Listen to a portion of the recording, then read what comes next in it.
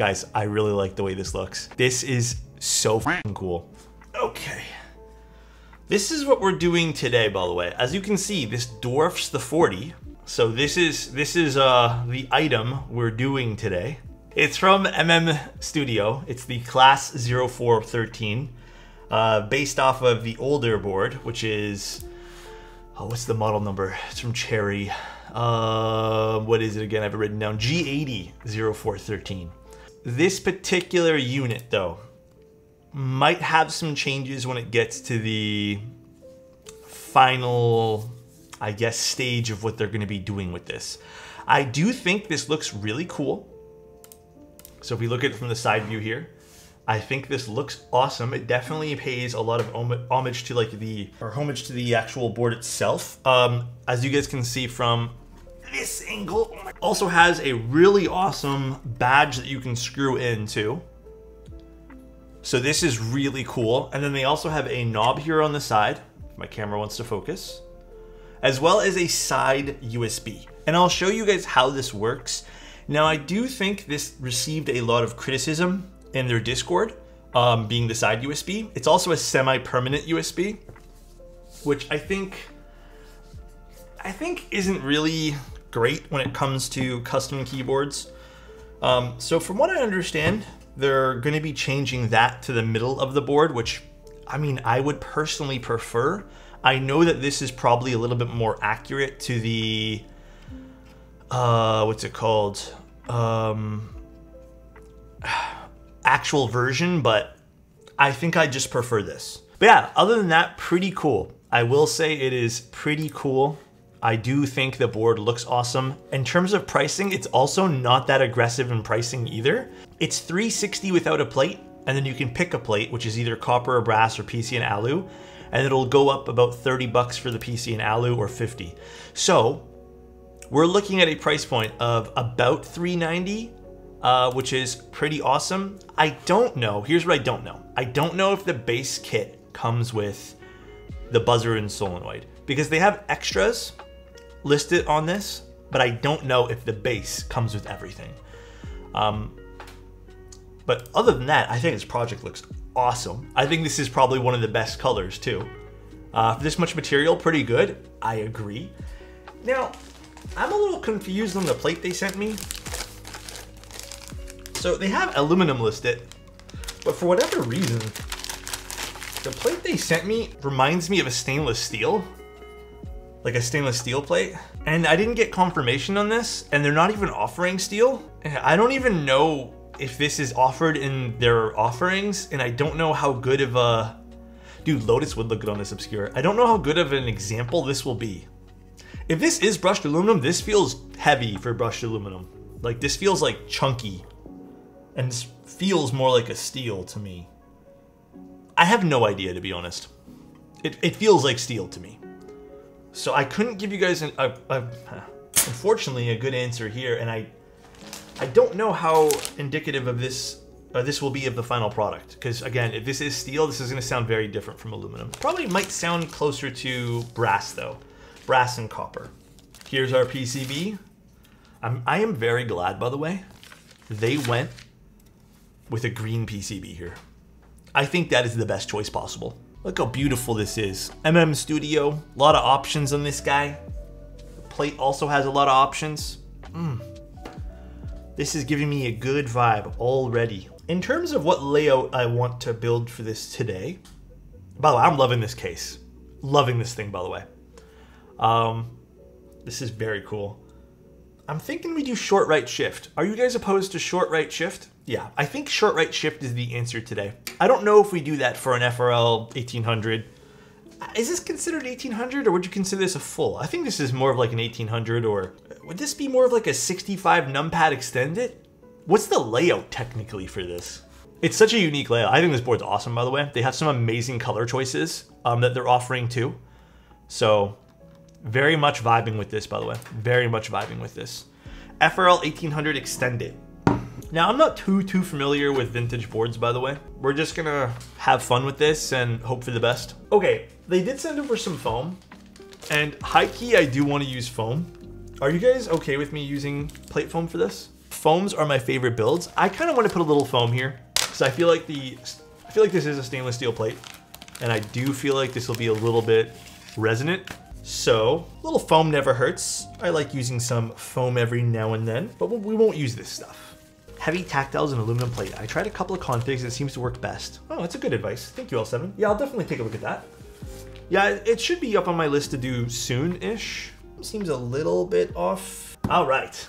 By the way, we are using some HMX switches today. These are HMX Jammy Linears. Um, HMX cheese switches sounded great. I'm, I'm hoping they do another run of those. I think they will. These look like really cool switches too. I'm kind of excited to try these guys. Now again, pretty positive this is stainless steel, which isn't on their offering list. I don't know why they sent me over if this is stainless steel. If this is for some re reason brushed aluminum, this is kind of heavy for brushed alu. Um, which again, I still think this is stainless. I do not think this is alu. These are uh, HMX switches. They are the uh, jammy linears. Screws, feet, solenoid, or, or solenoid there, and then wait, what is this? Oh, I guess we could have built today plateless. We could have done plateless today, but it's okay. We're gonna do no plateless today. This will probably sound insane, um, plateless, by the way. Hold on, I dropped a clear gasket of some sort. I don't even know what these are for. You know, if this does not sound great with the plate, I really want to try this plateless though. Um, the tabs over here. There's tabs on the side here. I wonder though, can you technically mount this with Hope gaskets you have a fantastic and a plate? New Year weekend. Perhaps you could. So perhaps I don't do top mount for this. Thank you so much, Sporky. Thank you so much for the tier three, man. Holy crap. Whoa. Look at these internals. All right. Whoa, there is a lot of stuff in here. So we have, we actually need to kind of fix our USB cable. And the way they make you do that, there is, I believe, a piece underneath this that you have to pass the cable through. Let's take a bunch of this off for now, and then we can go from there. But let's unscrew a whole bunch here. Let's take this apart.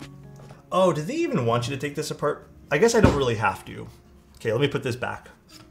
I see how to take it apart now. You have to unscrew. There's another screw here at the bottom, but I see what they want you to do. Never mind.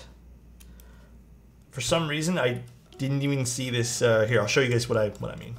So, what they want you to do is they want you to put the USB-C cable in. For some reason, I didn't even realize there was like a larger hole here, but I, I thought you just kind of slot it in. Which actually, I still need to take this part out. So let's just take this this little locking mechanism. This is the only thing you actually need to remove is this little lock this little piece here to kind of lock the cable in place, and I'll show you guys what this looks like. Now, I don't think this is going to be on the final rendition of the board, because I think a right-aligned USB cable is kind of, um, what's, a, what's a good word to use here?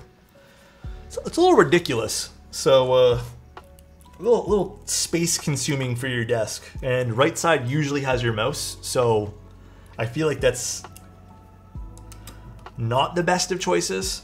I am glad that I, I'm pretty positive they're going to be swapping that out for a middle, what they said. It's because the board is based, yeah, it, it, the board is based on it. However, I just don't think it's like a good design to port over into like a board that, you know, is based on it. I, I think that's like something you should, probably should leave behind. You know what, screw it. Let's fully commit, guys. Let's fully commit to this. It means I have to use this, this keyboard, by the way. We are fully committing. Send it. Uh, this is literally the best keyboard for left hand. Yeah, it truly is. It's a, it's a pretty decent keyboard for left-handed people for sure. Screen back that little lock here on the bottom. And the cable is now locked in place. All right, now I think I still can probably use the gaskets alongside this. So I would like to use the gaskets. So I don't know if I want to do stainless steel top mount but I still want a plate in here. I think that would sound cool. And again, if I end up hating this sound signature, I'm gonna desolder this. Maybe not today, probably not today. Now this is a little weird. They have the cable, why wouldn't they put this port flush with this so the cable doesn't have to do one of these? A little, little awkward there. I don't know if I fully agree with that. Oh. You guys hear me pressing the key? please. I just need to plug you in and I can't unplug you. Oh my god, hold on guys. I forgot this was plugged into my USB-C cable. I forgot, dude. I know I'm removing the limo right now. Professional streamer. Hey, you know what? I have never done a cable like this before. Dude, this, uh... Do not like the fact that it's facing this way. All right. This is done. Put the top frame back on.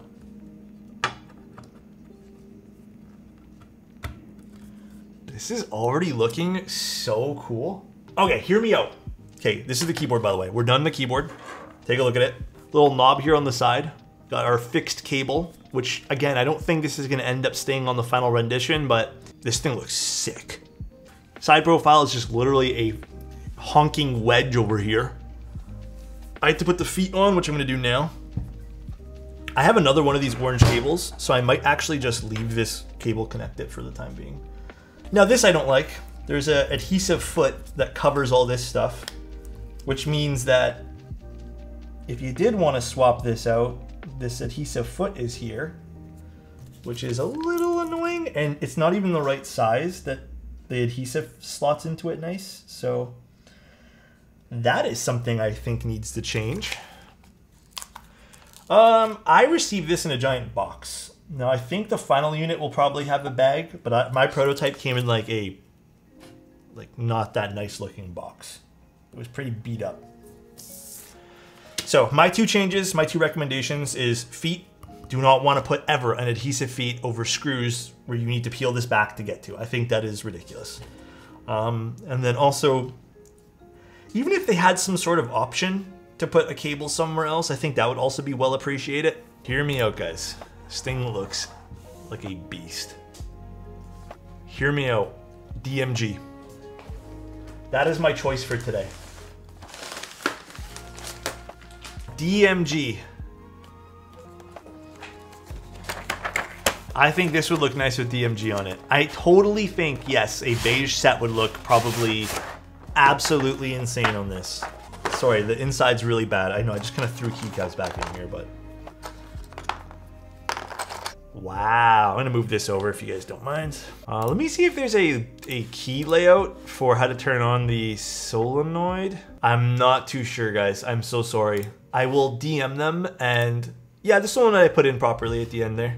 But look how sick this keyboard looks. Okay, ignore this solenoid thing. We're not gonna stress too much about it. Guys, I really like the way this looks. This is so cool.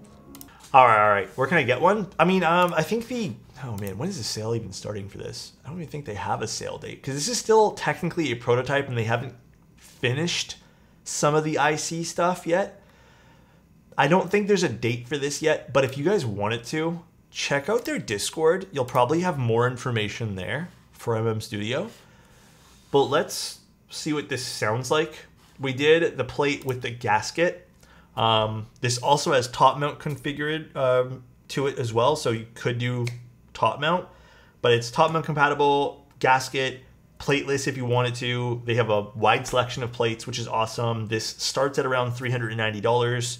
I don't know, this thing looks really cool. They are, I, I hope, changing the side cable over here, although it's not too distracting now that we've put it together. I don't absolutely hate this. Like, I don't mind this now that it's here. This is also extremely heavy, by the way.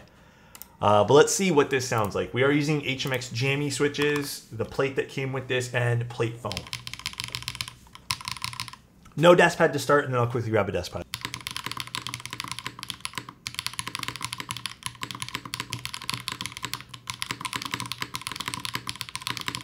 With the desk, it's very deep. But here, let me uh, let me get a desk pad to see what this sounds like on a desk pad.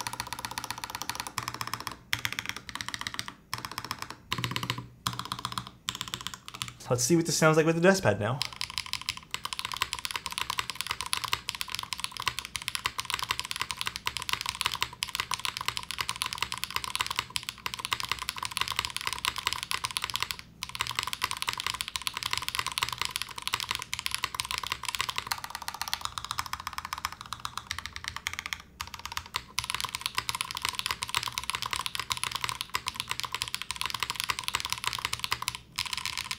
It's definitely bright. I do feel like this sounds really good without the desk pad.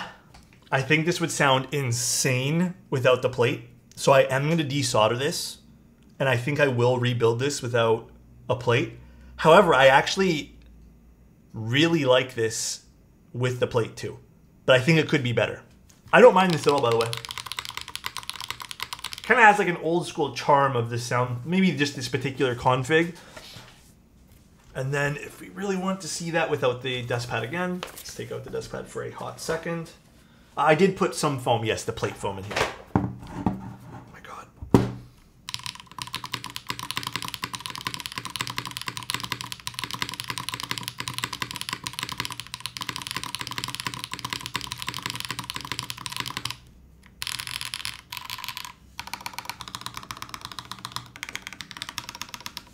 I like this. I'm into it.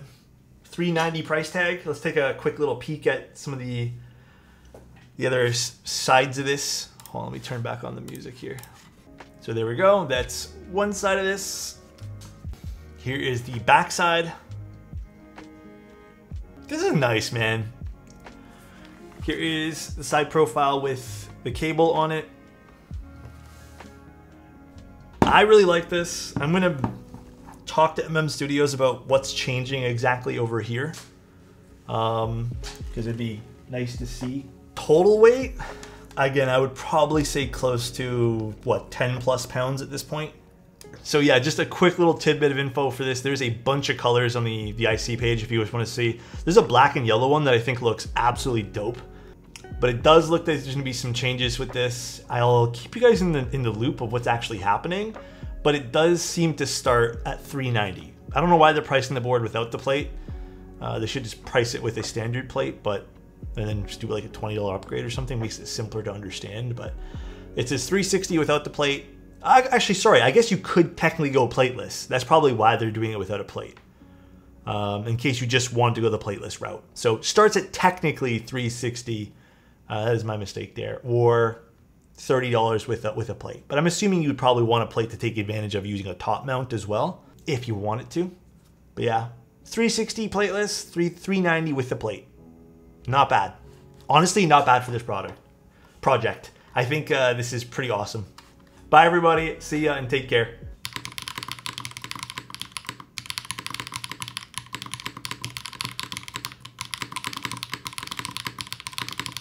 With the desk, it's very